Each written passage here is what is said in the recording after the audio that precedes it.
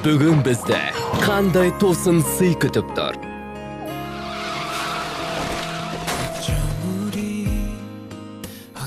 күтпеген кездесулер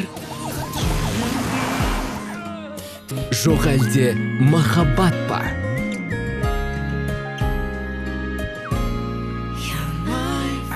үздік корей телехикаясы махаббатым рысбек аташ жарын ренжітіп алған көрінеді. Тіпті балаларының анасынан кешірім сұрау үшін жаңа ән де жазыпты. Әнші осы және өзге де жаңалықтары туралы тілшімізге тарқатып айтып берді.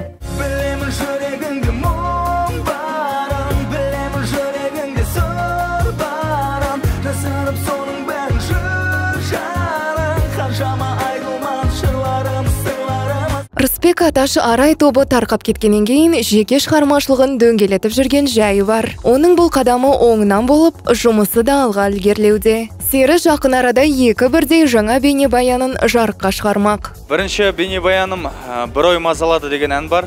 Ә, жақсы керемет әндердің бірі өзіме қатты ұнады Ә, екінші әнім ренжи берме ренжи берме деген жаңағы бір әр үйде бір жанұяда біреу жанұясы әйелімен ренжісіп қалып жатады немесе біреу қызымен ренжісіп жатады. Сол тақырыпта бір қызық бір ән шығарғанбыз. Қызықсың ренжи берме күнде күнде.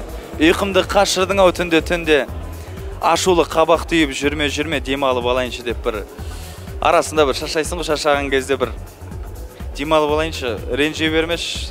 Күйді қашырдың ау деген сияқты бір қызық тақырыпта өмірде кездесетін тақырыпта. Осылайша рысбек ренжісіп қалған ғашық жұптарға жаңа бейнебаяны арқылы басу айтпақ. Түсініспеушілік пен ренжісу өзінің отбасылық өмірінде де болатынын әнші жасырмады. Сол сәтте рысбек үйдегі жеңгеміздің ашуын басудың бірнеше амалдарын қолданатын көрінеді. Қазақта жақсы сөз бар ғой ыдыс аяқ сылдырламай тұрмайды деген. Ә, әрине болып тұрады арасында. Сол болған кезде сол моментті ұстап қалып сол сәтті ұстап қалып сондай бір дүниелер келіп қалады. Ә, сөздің басын өзім шығарамын бір екі жолын сосын ақындарға тапсырамын мынаны алып кетіңіздерші ары қарай. Осы тақырыпта осы жүйесі осындай болу керек деген сияқты. Жақсы жігіттің ашуы шай орамал киіп мен сірә тез жібеймін.